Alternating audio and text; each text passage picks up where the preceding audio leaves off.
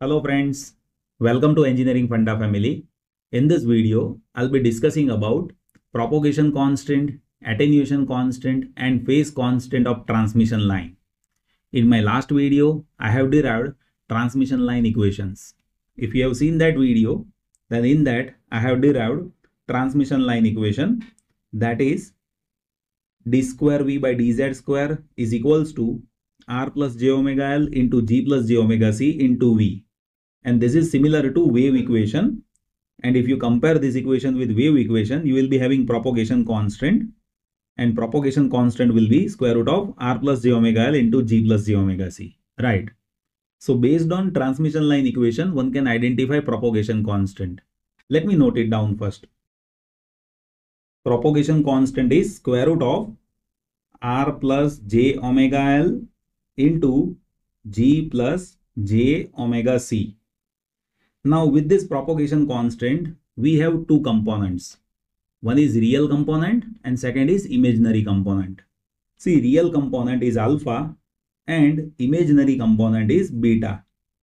See this real component that explains attenuation. So alpha is attenuation constant and imaginary component that explains phase constant.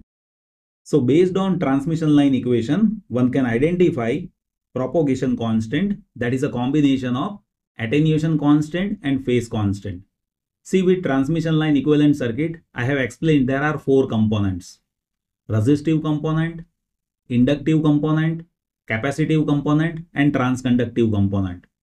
If you observe this gamma that is based on RLGC. See here with transmission line, loss is happening because of resistance and transconductance. So for lossless transmission line, value of R and G will be 0. So for lossless transmission line, R and G value that is 0. So based on that, if you want to calculate propagation constant, then gamma will be square root of R and G that is 0. So you can say square root of 0 plus j omega L into 0 plus j omega C. Now here in square root we have j square omega square LC. So you can take j common at output side and omega that will be there over here and inside square root we will be having L and C. So you will be observing propagation constant that is j omega c for lossless transmission line. So based on that you can say for lossless transmission line attenuation constant alpha that is 0.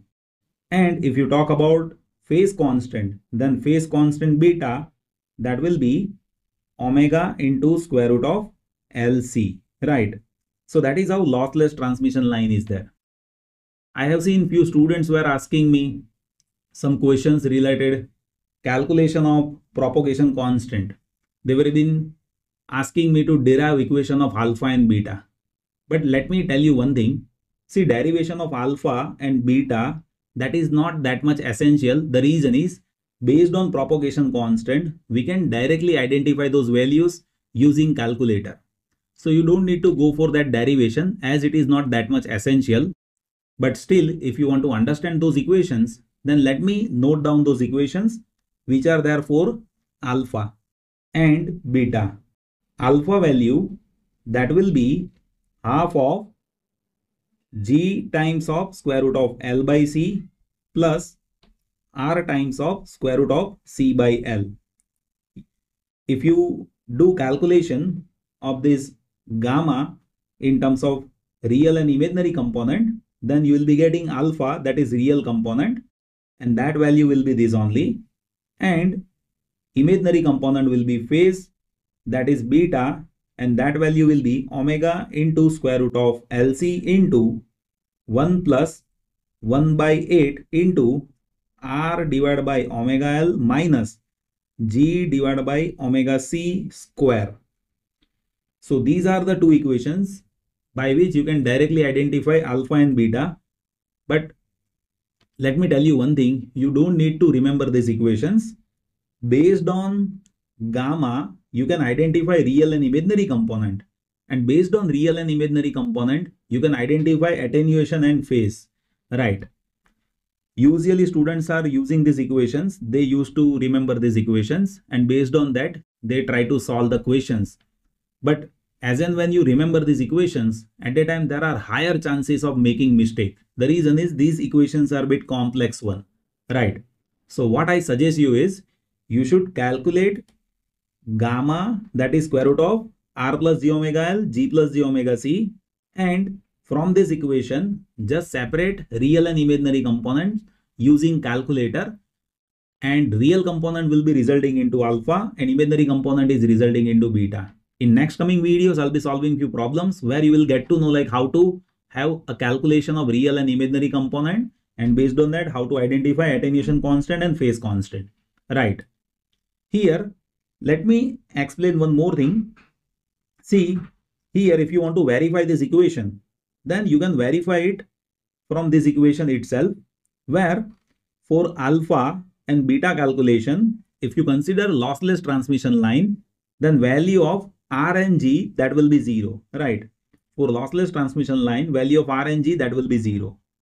So here I have said alpha will be 0 and beta will be omega c into square root of LC.